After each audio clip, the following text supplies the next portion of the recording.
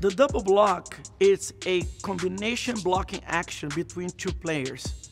Normally, the middle player, who covers the whole length of the net, they double block in order to maximize the area of coverage when they are blocking.